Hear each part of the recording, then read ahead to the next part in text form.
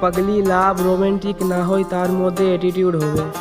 পাগলি লাভ রোমান্টিক না হয় তার মধ্যে অ্যাটিটিউড হবে। জানি না আমারটা কীরকম হবে। কিন্তু এতটা জানি যে সে সবার থেকে ডিফারেন্ট আলাদা হবে।